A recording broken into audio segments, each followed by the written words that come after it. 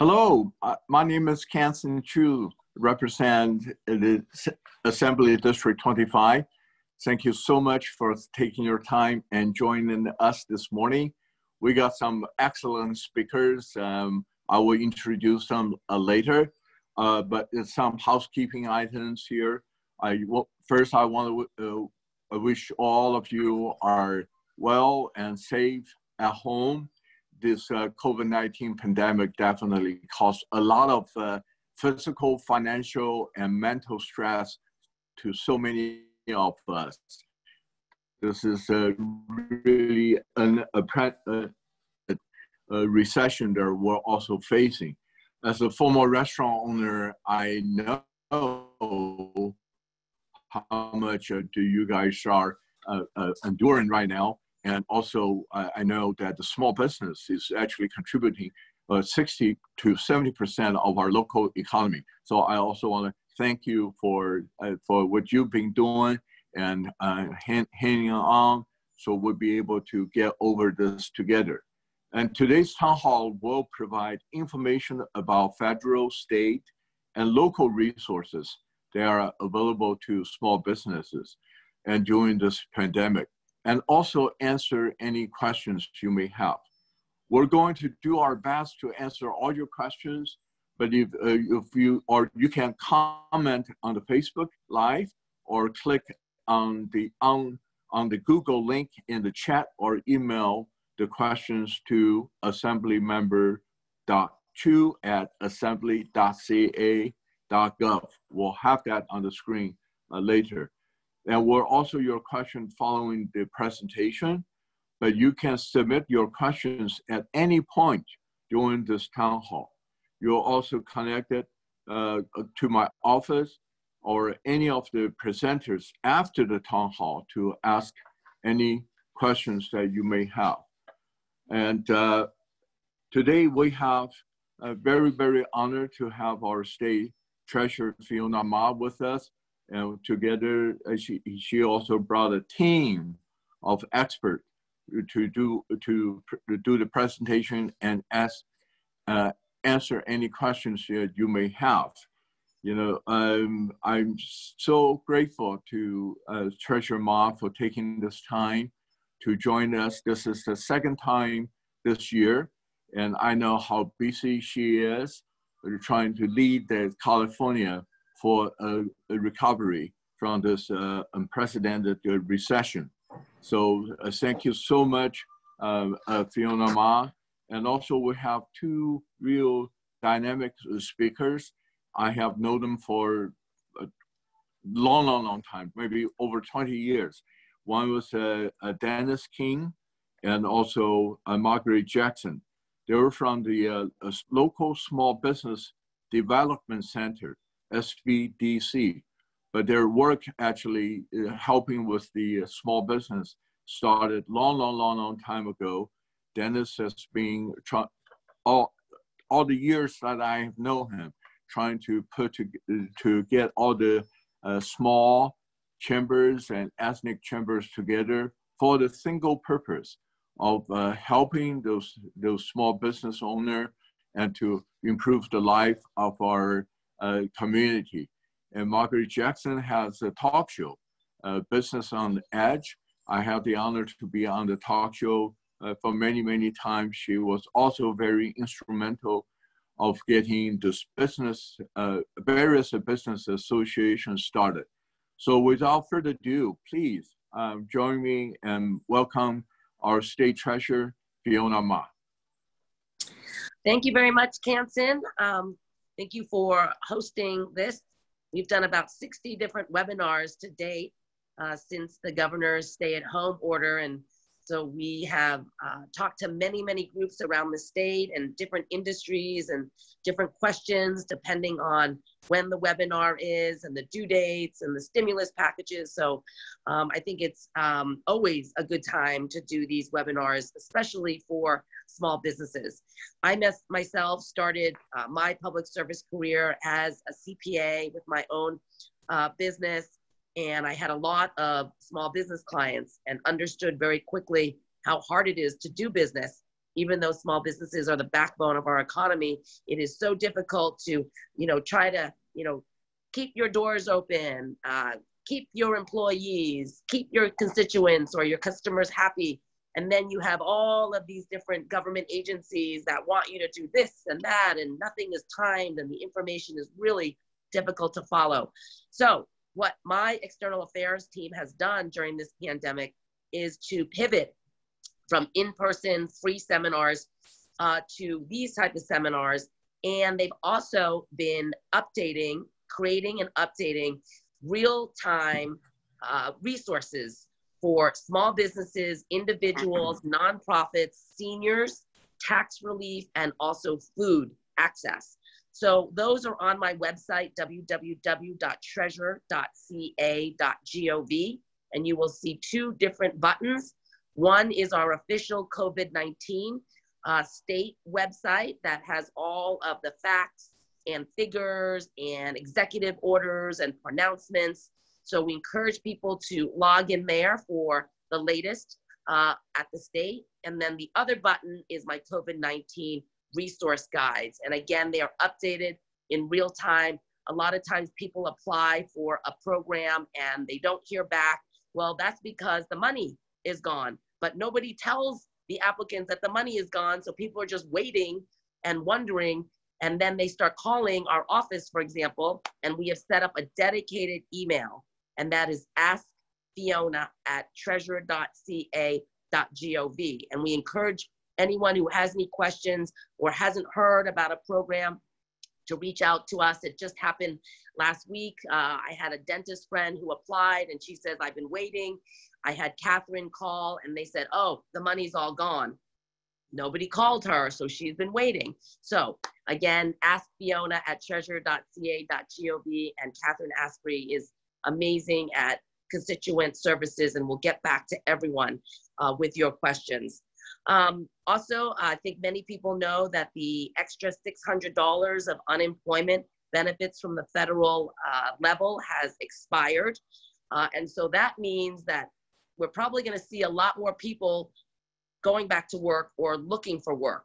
But my concern is as a small business, some of them have closed permanently. Where are people going to find work? And so it is important that uh, we get as many resources out there. And the state of California has entered into a public private partnership uh, with private companies that are looking for workers. There's about 100,000 different opportunities for people who are looking for work. And that website is uh, www.onwardca.org. And I know my team is going to be typing uh, all of these um, resources into your chat box. Um, we also work very closely with the SBDCs, and I know that Dennis is is on, and I'm sure he's going to be answering a lot of the questions, perhaps from the federal uh, government, the stimulus packages, and what's perhaps to come through the HEROES Act, as well as the new infrastructure bill. So I will not touch on that at this moment, but I will stay on at the end in case there are questions uh, that people have at the state level that I can chime in on. And before I uh, turn it over back to you, Kansen, I just want to remind people the importance of filling out our census forms. Earlier in April, we got $9.2 billion in aid from the federal government based on the number of people we counted 10 years ago. And this year is our count.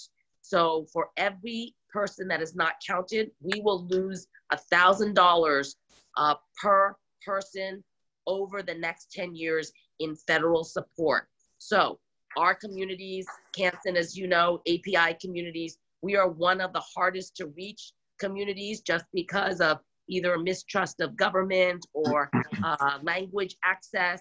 Nobody is going to come knock on your door this time and explain the program and sign you up. So we really want people to please help and get your households signed up.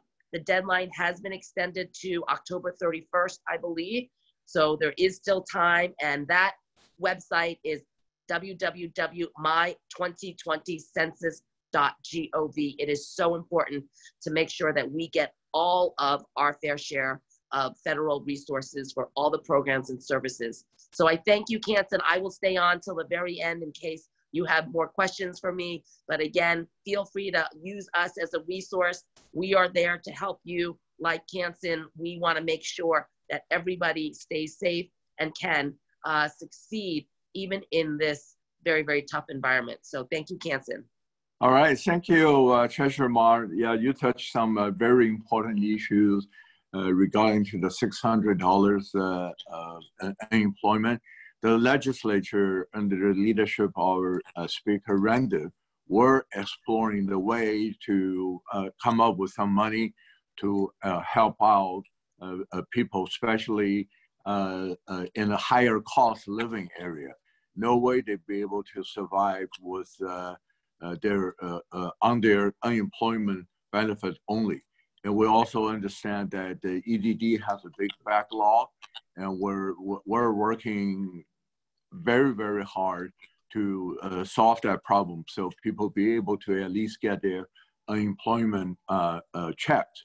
And the census, I just cannot um, overemphasize the importance of the census. You know, we uh, so much uh, money, education, transportation, healthcare, are all depending on our big brothers, uh, our uncles, and and and, and Washington D.C. And would your you, any everybody uh, need to be counted, you know, and and that's very um, uh, confidential information. So we definitely will not release to any uh, agencies like ICE or whatever, you, uh, immigration offices. So it's a very safe way to, to, to, to be counted and to, to uh, help us to bring some resources from the, uh, the federal government, which set the state California's biggest contributor to, to, to, to, their war chest, right? And, right. And uh, we, we need to get our fair, fair share back right. from the federal government. So with that, uh, uh, Treasurer Ma, would you please introduce your uh, uh, staff? They will, they okay. will be speaking. Okay, um, we have uh, Janie Davis, uh, who's going to talk about our CalCap for Small Business program. We have Miriam Joffe Block, uh, who will be talking about some of our incentive programs. Jonathan Herrera, uh, he's going to talk about our CalSavers program, an important tool for small businesses. And then you will have Margaret Jackson and Dennis King of the SBDC. So, Janie, I'm going to turn it over to you. Thank you very much, Treasurer, and thank you, Assemblymember Kansen Chu, for having us today. We appreciate this opportunity to um, be part of this town hall and to share information about our CalCap program. Um, I'm, as the treasurer mentioned, um, we are um, part of the state treasurer's office. We, our CalCap program was created in 1994 and for the purpose of supporting small businesses, including nonprofits, um, by facilitating banks and other financial institutions to make loans to small businesses. Um, the CalCap program is a loan loss reserve program, which provides lenders with an opportunity to get up to 100% coverage should there be a loan default. Um, the maximum loan amount in the program is $5 million, and the maximum that can be enrolled in the program is $2.5 million.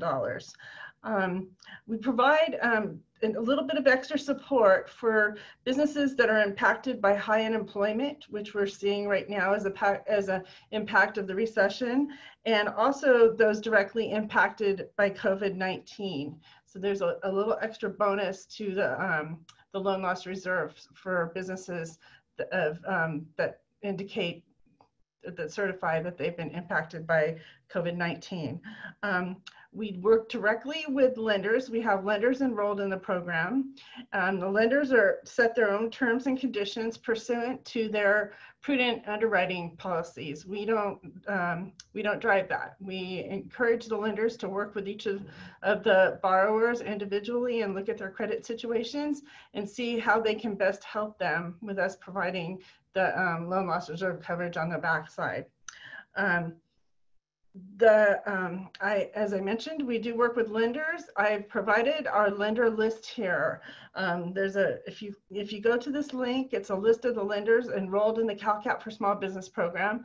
There's also a um, I, you know, also part of our, our lender list here is um, we have we have them listed in or, not in any specific order. You'll see that they are um, their addresses are there, their websites are there, but a lot of our lenders lend statewide. So if it looks like there's a lender that might not be from the Bay Area, I know there are some, um, but those lenders, most of the lenders do lend statewide. So I just like to, to point that out.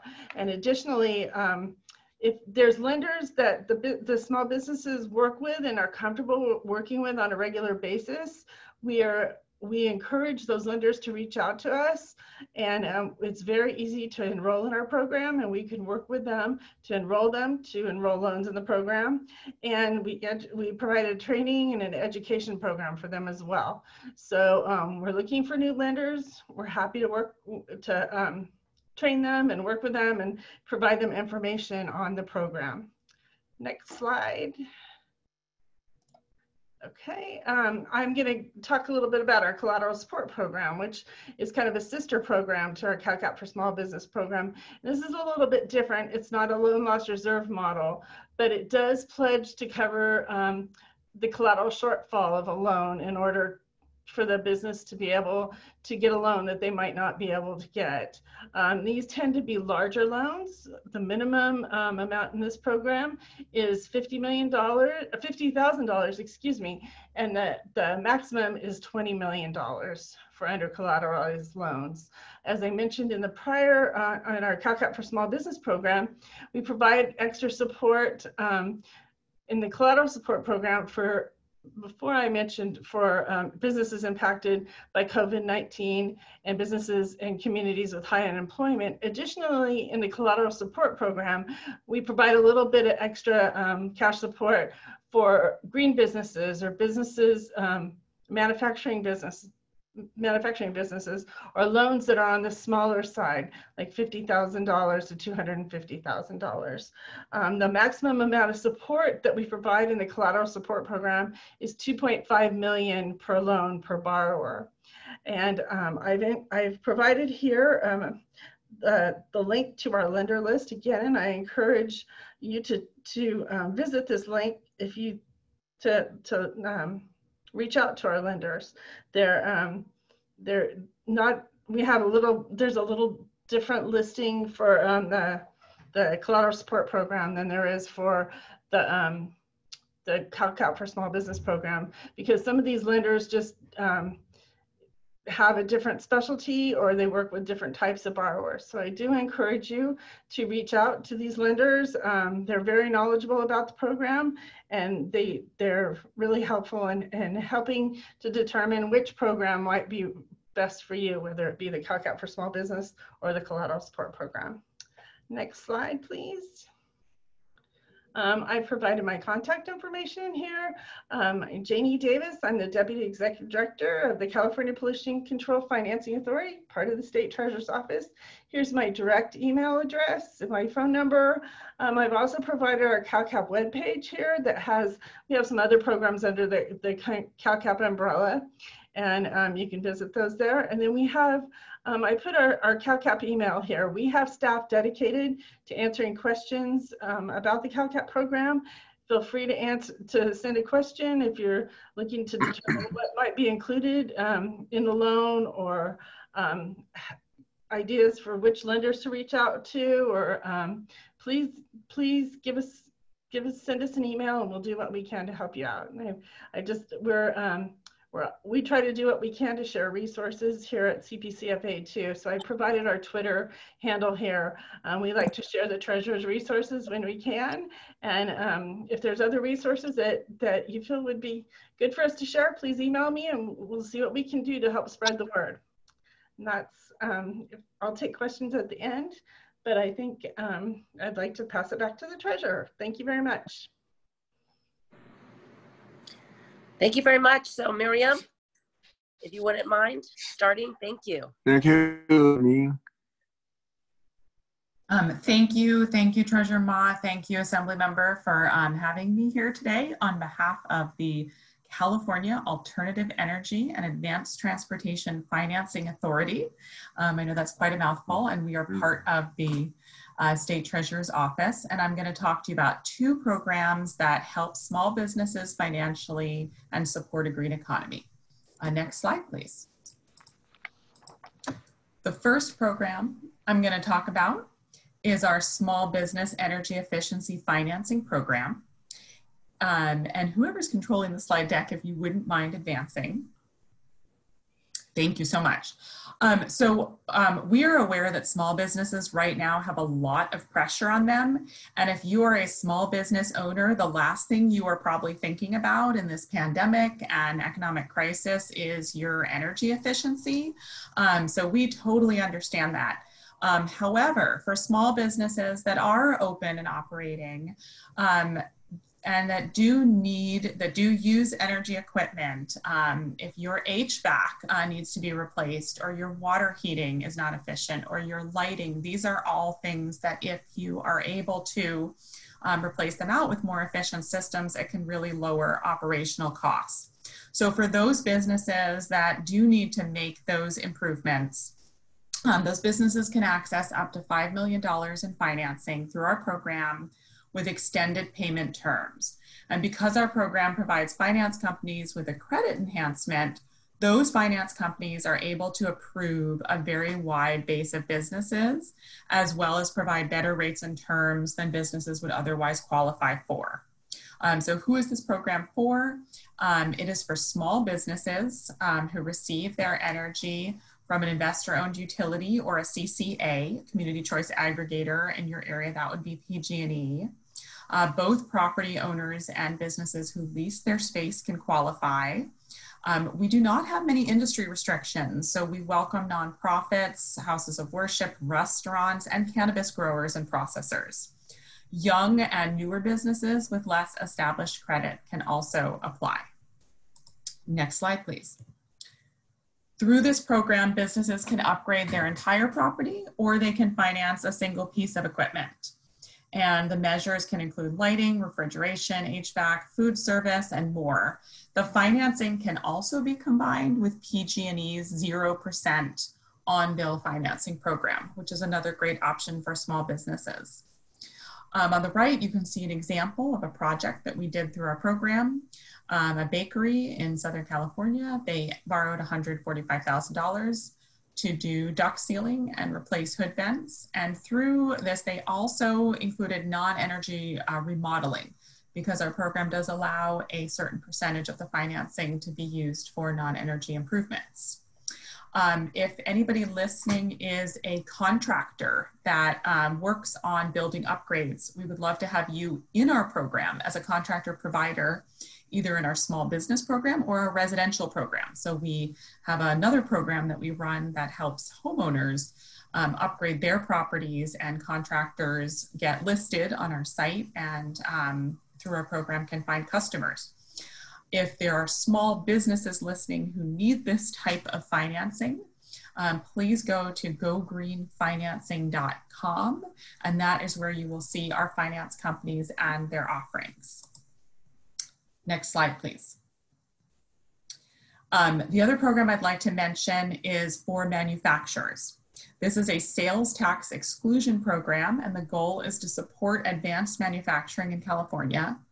And this is a way for manufacturers to purchase equipment uh, without having to pay the sales and use tax, which works out to be about an 8 to 10% savings off of purchasing, depending on sales tax averages at the time.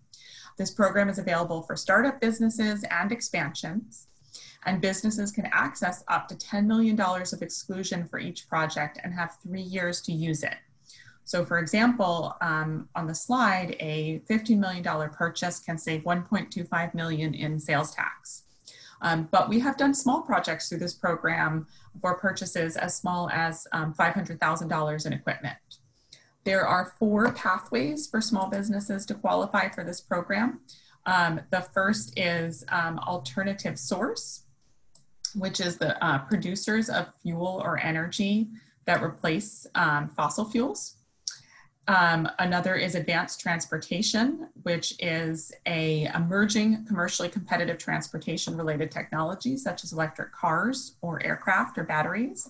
Um, there is also recycling, which includes companies that utilize or process recycled feedstock.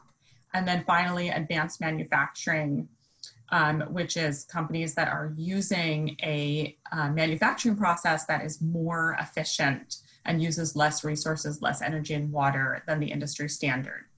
Um, so just to discuss more um, or learn about eligibility, you can contact us at CAPA at treasurer.gov. And I will put those addresses that I mentioned in the chat box because um, we've got some acronyms and some long websites here. And I'll be happy to answer questions. Thank you very much.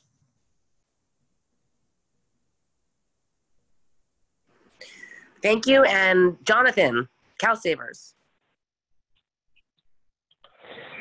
Thank you, Treasurer Ma. Uh, good morning, everybody. My name is Jonathan Herrera. I am the outreach manager for the CalSavers Retirement Savings Program. Uh, first, really quickly, let me say thank you to Assemblymember Chu's office um, for hosting this meeting today and allowing us to join and share this program with all of you. And thank you all for joining us today. Um, you know, as Miriam said, as business owners, we're, we know that you are facing unprecedented challenges right now. And at CalSavers, we want you to know that we are committed to supporting employers through these uncertain times by offering extra support and flexibility. So CalSavers is the state's new retirement savings program for private sector workers that don't have access to a savings program at work.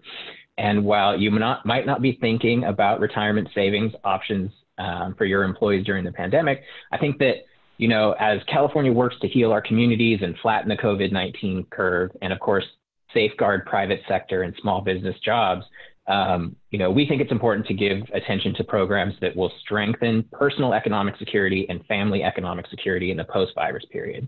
And I think that the COVID-19 pandemic has really underscored how important it is for workers to have access to programs that support their short and long-term financial stability. And CalSavers was designed for exactly that. So first, let me talk to you about how CalSavers came to be. Um, CalSavers was created by legislation back in 2016. Um, and what the legislature was looking at was, was a retirement savings access gap in the state. You know, close to half of Californians are currently projected to retire into economic hardship. Um, and we think that a key driver of that is that there's seven and a half million Californians who are going to work every day and playing by the rules, but lack access to a workplace-based retirement program. Um, and the research shows that that workers are 15 times more likely to be saving and be on a path towards retirement security if they have access to a payroll deduction savings option at work. So, with that in mind, knowing that the best way to get people saving and on a path towards retirement security is through the workplace, the legislature did pass um, a bill in 2016 um, they did a couple of things. Number one, most importantly, it gave us the green light for creating the program. But number two, it did create a new requirement on employers. Um, and that's what this slide is about. So going forward, any business in the state with at least five employees is going to be required to offer some sort of retirement savings program. So if you're not currently offering, you know, something like a 401k or a pension, um, your options are go out on the private market and find a solution for your business that you can sponsor, or register for CalSavers um, and facilitate our program for your employees. Um, the deadlines for employer compliance roll out over the next three years based on the size of your business. So don't panic. Most of you won't have to run out and figure it out today. Um, the first deadline um, is coming up a little bit in pretty quickly, though. It's for businesses with more than 100 employees. You'll have until September 30th of this year. That's actually extended. The original deadline was June 30th of this year, but you know, with everything that's going on in the economy, we wanted to give um, employers a little bit more time to figure it out. Um, the next deadline is for businesses with more than 50 employees. They'll have until June 30th of next year. And then the last deadline is for businesses with five or more employees. They'll have until June 30th of 2022.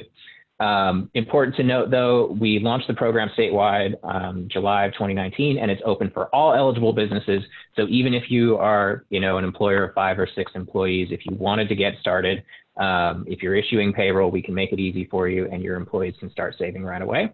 Um, if you happen to be a smaller employer, less than five employees, um, uh, you're not subject to the mandate, so you can't register for the program. But we did open the program for individual um, participation. So employees of small businesses, or if you're um, a self-employed contractor, gig worker, um, you can go to our website, calsavers.com, and open an account for yourself and start saving whenever you're ready.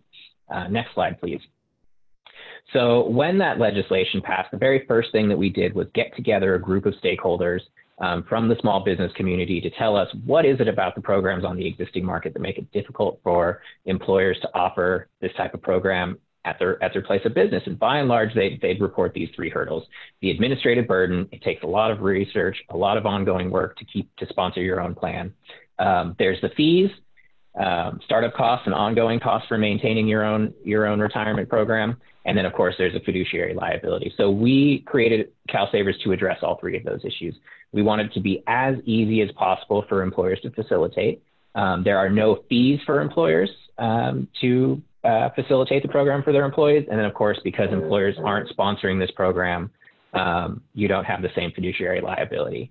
Um, that fiduciary liability is assumed by um, the board that I work for, chaired by the state treasurer, um, our small staff out of the state treasurer's office, and our contractors who have been contracted to uh, run the day-to-day op operations of the program and handle the investment management.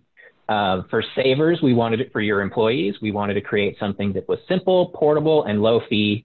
Um, and that starts with a very simple payroll deduction IRA, um, just like any other IRA that you can get um, from your local financial institution. The key difference is that we are you know, partnering with you as small business owners to facilitate the automatic enrollment and automatic payroll deduction for your employees that all of the research shows, um, you know, makes it so much easier and so much more likely for workers to be saving and be on a path towards retirement security. Uh, next slide, please.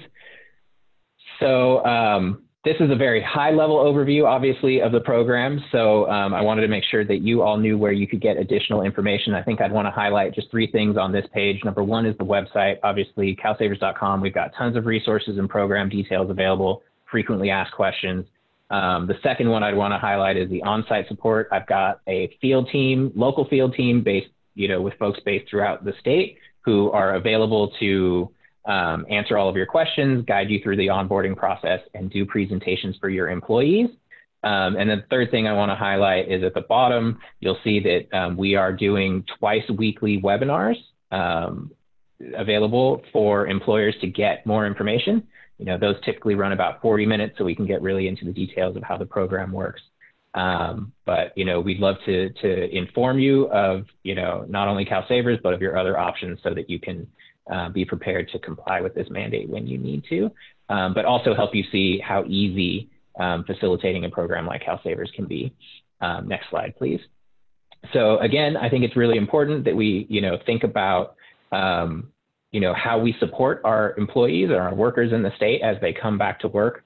Um, and part of that includes the ability to save for themselves and for their, their own retirement and economic security. Uh, my information is here on the screen. If you have any questions, we'll be doing questions and answers in just a few minutes after the other speakers. Um, but also our websites and all of our social media pages are here for you to follow and keep track of what we're doing. thank you so much for letting us spend some time with you today. And um, if you do have any questions, hopefully we can get to them in the questions and answers period. Thank you. Great. Uh, thank you, Treasurer Mara uh, thank you, Jenny and Miriam and Jonathan. There was a lot of very important information for, for us. I just wanted to uh, uh, remind you that this uh, uh, town hall will be recorded and posted on my website uh, and, and Facebook. So if you miss any part of it, feel free to check on my website or and to share with friends uh, or uh, people you think might need uh, those information during this difficult time. And uh, next up, I, again, I would like to welcome uh, Margaret Jackson and Dennis King.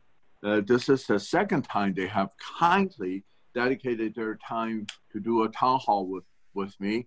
So thank you so much. Um, Margaret Jackson, like I introduced earlier, is a talk show uh, hostess, and she had this show uh, Business on the Edge, and uh, I it was uh, uh, aired on a, regular basis, and I was very honored to be on the show for for many times.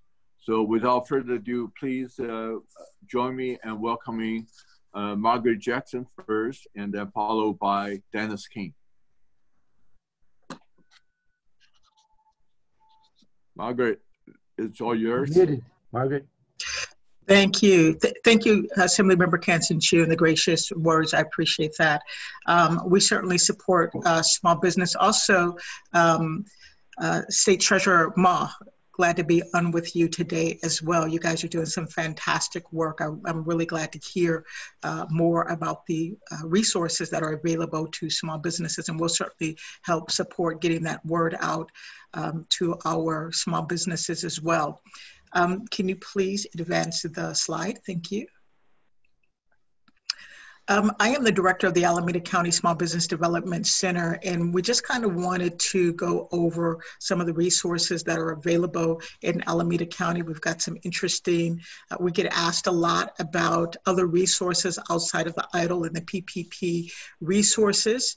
And, and, and the, the best way to really address that is every city has something different that they may be doing. And um, right now we see that, um, and I'm going to grab this information right here. Um, San Leandro and the, and the county of Alameda have been um, approved for a disaster assistance uh, due to some of the civil unrest. So with COVID-19, we're also dealing with the civil unrest. And so I was just notified about this a couple of days ago. And so the counties that are uh, eligible for supporting individuals and families, but also small businesses. So those counties include Los Angeles, Contra Costa, Kern, Orange, San Bernardino, San Francisco, San Joaquin, San Mateo, Santa Clara County, Stan- Stanislaus, and Ventura. So we're really uh, happy that there's funding and resources available to those businesses that saw, um, unfortunately, maybe some of their property was um, impacted. Uh, maybe there were or, windows broken, or there needs to be some repairs or replacements uh, to the real estate, machinery, equipment, inventory, other assets that were damaged or destroyed in uh, some of the civil, civil unrest that took place on May 26th. So we want to make you aware of that. And the SBDCs, we are able to help you complete those applications and that information uh, to get you uh, back on track. We want our small businesses to survive. We understand that this is a very difficult time with so much going on, but we are here to support you. And if you want to register and apply for uh, consulting services, you can certainly go out to our website at acsbdc.org. That's Alameda County SBDC.org or acsbdc.org to uh, uh, get to us. Can you please go back to the former slide for Alameda SBDC and that's thank you so much i appreciate that uh, another resource that is available and i'm going to grab that information um, alameda county has a business ed- adaptation grant. So if you are making changes or modifications, uh, that grant is available at edenupgrade.org, and that's for the unincorporated area. So we want to make sure the small businesses during this COVID-19 time, during this time, we, we are still seeing businesses um, expand add new employees. So there, there's, I know that we often discuss all of the bad things that are happening, but we're not talking about some of the good things that are happening. We're seeing businesses pivot and innovate and do new things to survive and thrive during this time. And so we're supporting you in that effort as well. And just an update on the EIDL and PPP. The EIDL advance is no longer available. So if you try to apply for that, uh, the funding has run out for that. And just like um, uh, um, State Treasurer Ma stated, that money runs out and you're not getting that information. So the EIDL advance funding has run out. However, the, the EIDL loan has not. So SBA is still taking applications for that. If you have not applied for the EIDL advance, please um, work with your local SBDCs and apply. If you're in Santa Clara County, you can work with Dennis King. If you're in Alameda County, you can work with the Alameda County SBDC. The PPP, this is the red flag. Uh, that the PPP program ends August 8th. There is, this was, uh, the program was extended from June 30th and it is ending August 8th. So please work with your banks and work with your SBDCs now. Don't wait till August 8th. That's SBA's deadline. Um, but if you want to apply for PPP, please do it uh, as soon as possible. Work with us and we, we're very good at getting you through that process and working with your banks. And we do understand that not all banks are, are um, making the program as available as we'd like to. Uh, some of the small business, some of them are a little bit smaller, but we can, there's other lenders, and so we can help support that process with you as well. And then SBDC services, our services are, are really expansive. I, I, mean, it's really kind of hard to put us in a box. We do not give legal advice, but we can really help you with anything in between. So, whatever that goal is, whatever you're trying to do during COVID 19 or otherwise, we're here to support. So, if that's starting a business, we can help with all of those steps, those baby steps in between, and all of those little things that you're not sure about, and how to get connected to those resources that you're not sure about. We have we have um, pretty nice size um, uh, advisors and, and consultants that are depth and rich in their um, skill set to help you to consult with you. So we want to help you with that. Don't go it alone. This is really not a good time to go it alone. We can save many many more businesses and support your thriving if you work with us because we're we're not emotionally tied. So we're able to give advice and consulting that's more objective that can help you look at different ways to pivot and things that and innovate in ways you might not be thinking about during COVID 19 and during this time of, of unrest. So we want to support you as much as possible. And again, I'm going to turn this over to Dennis King and let him share with you what's going on in Santa Clara County. Thank you. After Margaret's presentation, I think the easiest thing for me to say is Amen. See, she covered all the bases that were important to cover. But let me share at least a few observations. First of all, uh, thank you, Treasurer Mon. Thank you, Assembly Member Kansen Chu. Um, you, I greatly appreciate your leadership. I'm sure our listeners can also appreciate the fact that you're two of the very few people in Sacramento with real world business experience. You've gone through this. So you know what it means. You know these struggles. When we were hearing uh, Fiona Ma describe the challenges in terms of government uh, for small businesses, uh, that's not an educational response. It sounds like she's been there. And I think that credibility helps all of us uh, significantly. So thank you for that.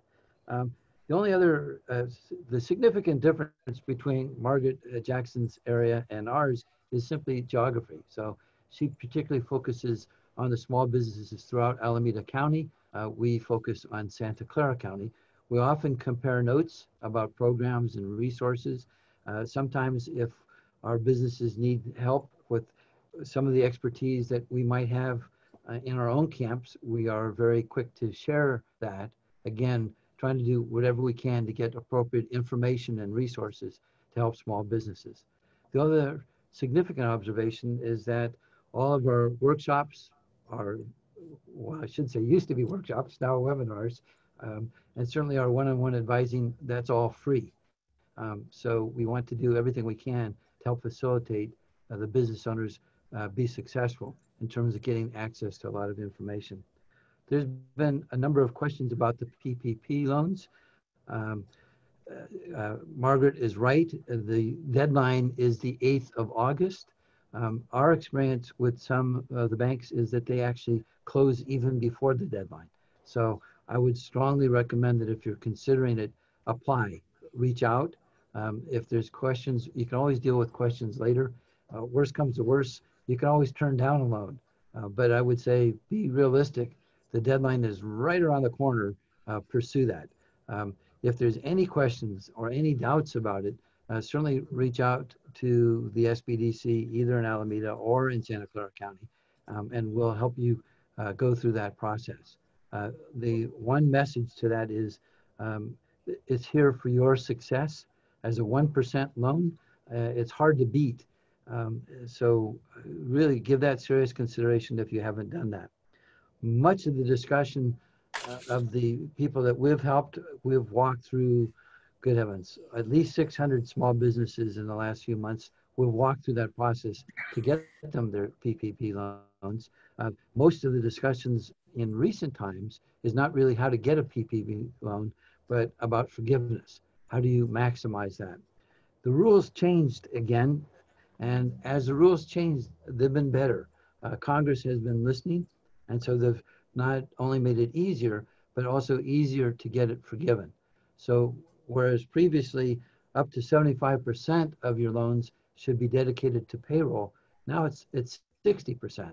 So there's a number of other uh, stipulations that are making it easier and easier, uh, as I said, not only to qualify for the PPP loans, but also to have it forgiven up to 100%. So seriously, if there's any time to act, now is the time. Uh, Margaret also described the EIDL loans, economic injury disaster loans, are still going on, while the advance on those have passed. The loans themselves are still current, and the plan is that they should be available through the rest of the year, uh, calendar year. Um, however, again, the advice is don't wait, and uh, you don't you lose nothing by applying except for your time. So I think these are good options for you to seriously consider. Um, now, in addition to that, there are a number of efforts by local cities. Next week, we're expecting um, Assemblyman Chu in, in Santa Clara County. Uh, you represent uh, San Jose, a good portion from the Agnew area. Uh, I mean, from Alviso, Berryessa, um, and of course, you do a great job representing our friends in Milpitas. Um, there are some local programs that are about to take place. So I could almost announce them, but not quite in detail. But starting on Tuesday, we're expecting the City Council of Milpitas to fine tune a program again for small business assistance that they should be announcing uh, with our active involvement. Uh, uh, probably, as they said, they'll be deciding on Tuesday, and it should be available shortly thereafter. Um, with your permission, uh, Assemblyman uh, we can get that information to you so they can, um, the people that live in Milpitas in your district uh, can either go to your website or ours for the most current information about that. Is that okay? Definitely, definitely. The city of San Jose is also launching a program to help small businesses. Uh, that should be released sometime at the end of next week. We'll be working with the city of San Jose for a rent relief program uh, that will be available from mid to late uh, August. So uh, there's some good things that's still happening uh, as a demonstration that there are a number of your representatives care deeply about the success of small businesses. And that's one of the ways that we've been able to partner up there, again, to channel as many resources as we can to help you get through this, this, uh, this challenge that we're, that we're all facing. Um, there's more to cover, but I think that covers at least the basics uh, for today. All right, thank you, Margaret. Thank you, Dennis. Um, please feel free to use uh, my office as a, a, resources, whatever we can do to help out with our uh, local residents, the lo local small businesses. You know, we'll be really, really happy and, and honored to have the opportunity to do it. And thank you very much. Uh, thank you for your decade-long uh, services to the small businesses. Like I mentioned, you know, they uh, both of them been working on uh, helping out with the small businesses and, and people uh, in the small business for uh, many, many, many years. And again, I would I just remind you that if you miss any part of this presentation, uh, feel free to get onto my website and Facebook uh, and also share that information with whoever you think may, may uh, help them in the situation. Now my staff will be uh, read the questions submitted to us and we, uh, we, we will do our best to answer all your questions. But if we, due to the time limit, cannot answer the questions, please feel free to reach to, out to my office or any presenter directly uh, after this presentation. And we will definitely have their information on the screen uh, uh, multiple times. So with that, um, please uh, read the first question. Matthew? Okay. The PPP loans were not made available to many of us small business owners through our banks, and we are stuck without funding or resources and mounting bills. What sort of reprieve is the state offering for women business owners like me?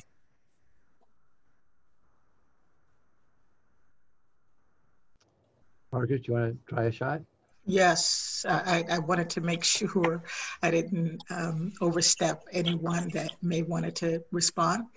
Um, that's a great question, um, and we've seen a, a lot of um, smaller business, micro businesses, um, not really get the funding that we would have liked them to, to see. Women and uh, minority groups, we, we, we saw a dis, uh, some disparities there. I was on a call yesterday um, that really kind of gave us that, that uh, concrete data for women um, and then African American communities and Hispanic communities, um, by and large, did not get the, the funding as, as, uh, as much as um, they should have. And so, uh, if you're if if you applied for PPP or you're unable to get PPP, uh, a couple of resources that I would recommend is uh, one connecting with your local SBDC so we can get you connected to the right lenders. But Working Solutions and California's iBank are working with underserved populations uh, to really um, see if there's a the, there's an opportunity for you to get the resources and funding that you need keep in mind that the EIDL and the ppp is not the only resources out there. That's one of many. And so if you connect uh, again with your local SBDCs, we have a, a, pulse on some of the things that are going on in our counties, in our communities, uh, resources that are available for um, uh, underserved communities and, and women by the way, is an underserved small business community. And so that's a reality. And so we want to make sure that we can help you navigate through those waters and get the funding that you need. That's not an S, that was not an SBA um, issue with the PPP.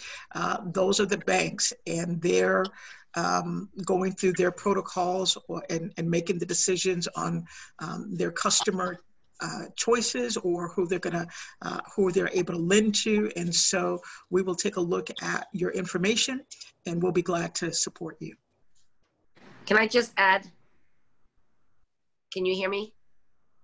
Yes. So i just want to also um, tag team on on margaret's uh, um, resource for the ibank so the ibank also is offering small business loans Initially, they were only offering it to people who did not get a federal PPP or EIDL. They have just opened it back up to anyone, even if mm. you've gotten the PPP or EIDL, because there is still money in that uh, fund. And the website is www.ibank.ca.gov.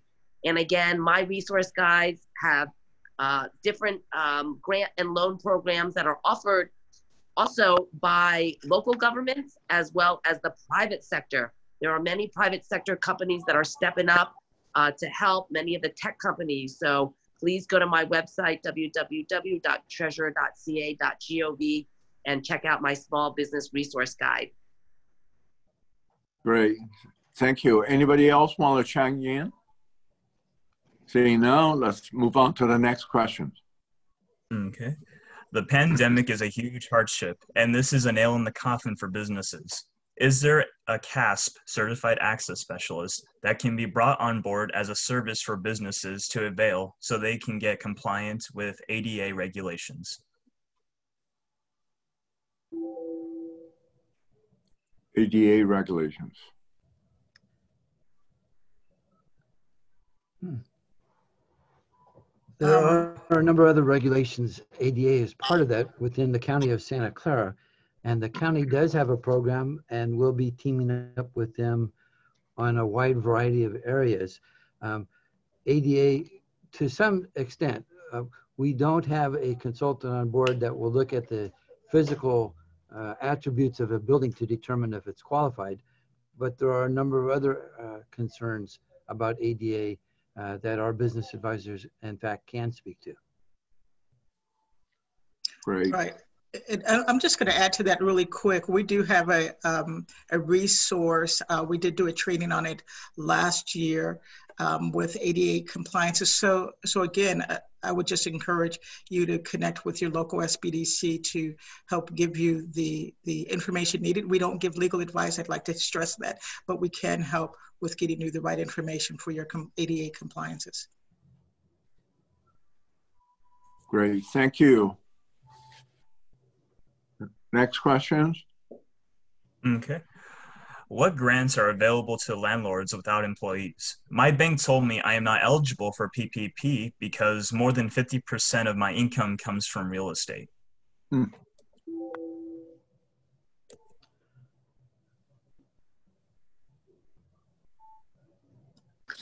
I think as a landlord, you're available for the EIDL uh, loan. Am I Yes?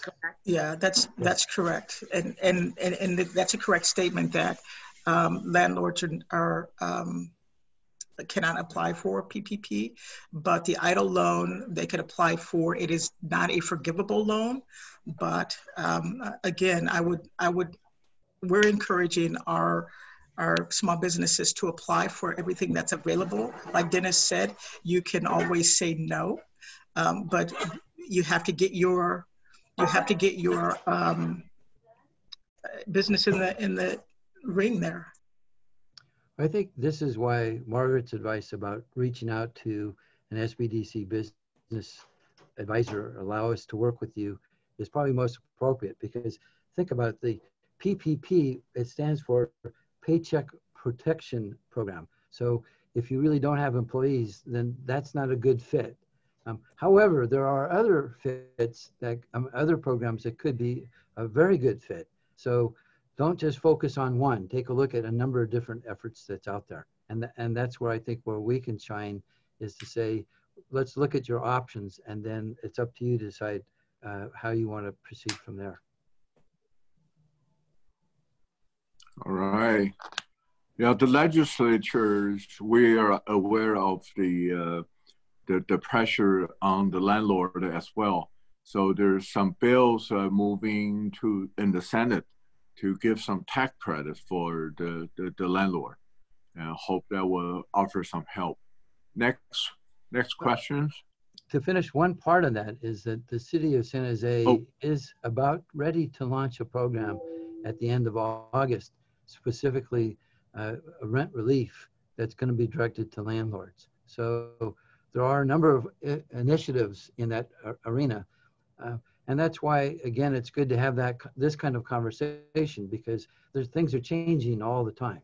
Uh, you know, we, I joke about that we pivot so much, we call it rock and roll. Um, it- it's just things are changing all the time. And that's why it's important to have these uh, discussions with business advisors who are, have got access uh, to what's happening. Great. Anybody want to chime in on this question? Thank you for the question. Now moving on to the next one. Can nonprofits apply to these assistance programs? If they're 501c3s, uh, they can apply. If they're 501c6s, for the most part, uh, they have been discouraged to apply. Uh, federal funds usually don't like to go to organizations uh, like chambers of commerce that also are lobbying organizations. Um, but again, the safest answer, uh, and I know of chambers of commerce that have received them, um, as well as some that have not. Uh, the best bet is apply. Yeah, and again, on my website, I have a resource guide specifically for nonprofits. And um, the CalCap programs are open to nonprofits, both the CalCap for Small Business and the Collateral Support Program. Okay.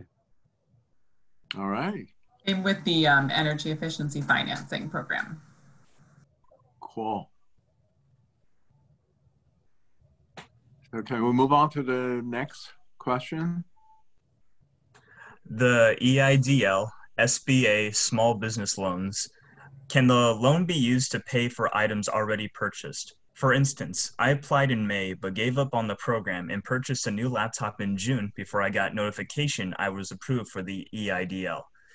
Can I use the loan to pay off my credit card that I used to pay for the purchase of the laptop? Or can the loan be used to pay my property taxes on my home? Um, Dennis, I can start if you want to Sure. add. Um, the goal of the EIDL loan and, and the PPPs is uh, what was pre-existing. Okay. Um, we've had questions like, can I use my EIDL to put a down payment on my home? No, um, your home, you can't pay property taxes um, in, unless it's your business property. Um, it, it- and so there's some expenses associated with how you can um, utilize those resources. And um, the guidance is really rupee, uh, rent, utilities, um, payroll, and interest. So if it's not one of those things, um, then I would I would um, steer clear uh, because you don't want to get in a situation where you've paid for something and you have to you will be audited. So you don't want to have to repay and um, i would lean towards and, and we can get a definitive with sba but you purchased the, the, the laptop um, it's not a pre-existing um, expense. And so the goals of the cares act is really trying to support small businesses of what was there prior to covid-19 and get you back to that that place you were prior to just like insurance prior to uh, the incident and in this case covid-19 so um, with that being said um, dennis you want to add to that? Sure, let me add just a little to it in that the nature, look at the purpose of it. So economic injury disaster loan. So it's basically to help people recover from the bad news of whatever caused them harm. Um, so if this was uh, replacing something that had been uh, damaged before uh, in one form, then I think that's defendable. But this is not the time to use that money to go buy a new car, as an example. Uh, it's it's there to help you recover uh, from damages, um, and within that parameter, uh, you sh- should be able to answer that question yourself. Great. Thanks for the question. Can we move on to the next question?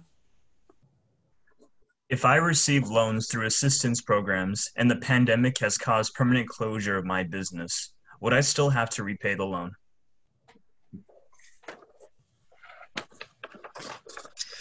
Yeah, the, the only loans that are forgivable is um, the PPP. And that could be, like Dennis said, up to 100% of that loan. Um, but you have other things that you could use that funding for. And then if you do that 60 40 split, that it, it- prior to the 60 40 split, it was 75% and 25%. And um, uh, SBA came back and said, okay, we're going to do 60% payroll, 40% rupee, and then that 40% is at a 1% um, payback.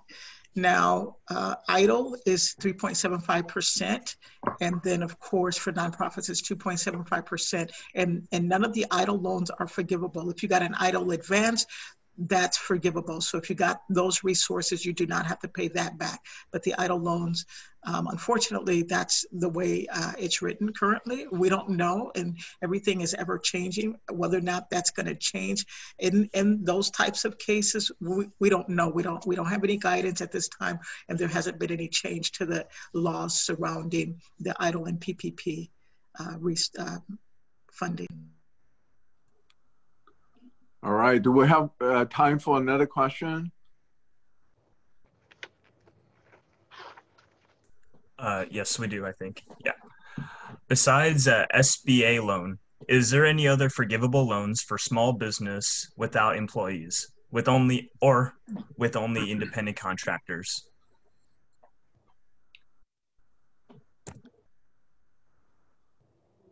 I'm not aware of any at this moment. Uh, that doesn't mean that something will not come out, but at the moment, um, what we have is the EIDL advance, uh, which is closed now, and then the PPP. So um, unless Dennis has something uh, he wants to add to it um, right now, unless there's grants out there that your community may be supporting, I would look at that, um, those opportunities as well.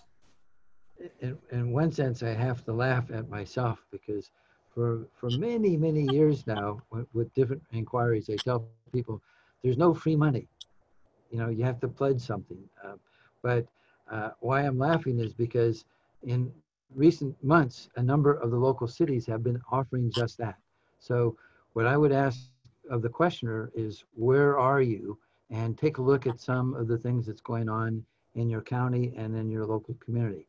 Um, I strongly suspect that within the next uh, couple of weeks, both Milpitas and San Jose will have programs that could probably uh, fit uh, that criteria. Um, so things are evolving all the time. And uh, again, I'll get back to you in terms of we are able to get that information released. Um, so there are there are some funds available, but it certainly it, it does take some effort uh, to be aware of them. And here's another um, possible option under the pandemic unemployment assistance. Uh, it is under the EDD uh, Employment Development Department, www.edd.ca.gov. Self employed workers, independent contractors, and gig workers uh, may qualify for unemployment benefits up to 39 weeks of benefits through December 26, 2020. So initial benefits were $167 per week. EDD increased the payments up to $450 per week based on your 2019 income. So please also log into the EDD website to see if you qualify as an independent contractor, self-employed, or a gig worker. Great. Thank you, Treasurer Ma.